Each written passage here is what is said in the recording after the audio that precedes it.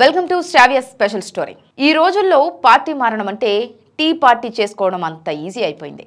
అలా మారే వాళ్ళంతా టీ కప్లో తుఫాన్ లాంటి వాళ్ళే మనం బాధపడాల్సింది వివేక్ పార్టీ మారాడనో రాజగోపాల్ రెడ్డి వేరే పార్టీకి జంపు చేశాడనో కాదు.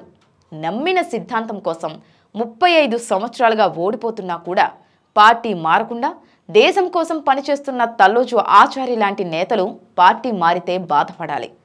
పద్నాలుగు నెలలు పార్టీ సస్పెండ్ చేసినా కూడా పార్టీ మారకుండా దేశం కోసం హిందూ ధర్మం కోసం క్రమశిక్షణతో ఉన్న రాజాసింగ్ లాంటి నాయకులు పార్టీ జంప్ చేస్తే బాధపడాలి.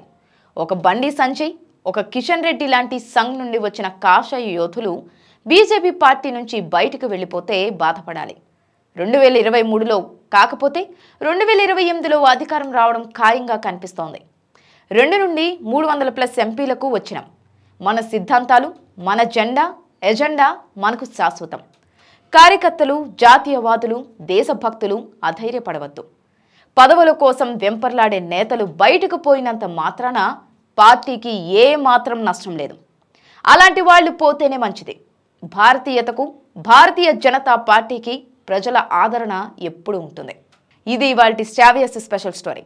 మరొక స్టోరీతో మళ్ళీ కలుసుకుందాం. అంతవరకు సెలవు నమస్కారం.